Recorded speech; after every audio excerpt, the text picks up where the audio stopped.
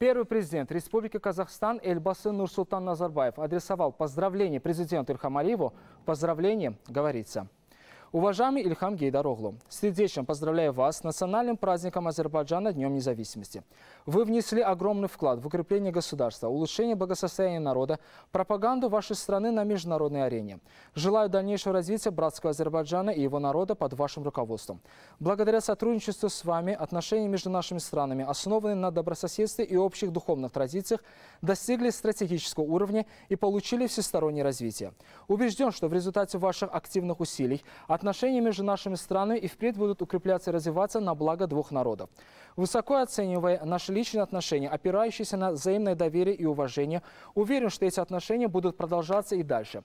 Уважаемый Ильхан Гейдароглу, пользуясь этой приятной возможностью, желаю вам крепкого здоровья, успехов на ответственном посту и в ваших благородных инициативах, а народу Азербайджана благосостояния и прогресса. С наилучшими пожеланиями Нурсултан Назарбаев, первый президент Республики Казахстан, Эльбасы.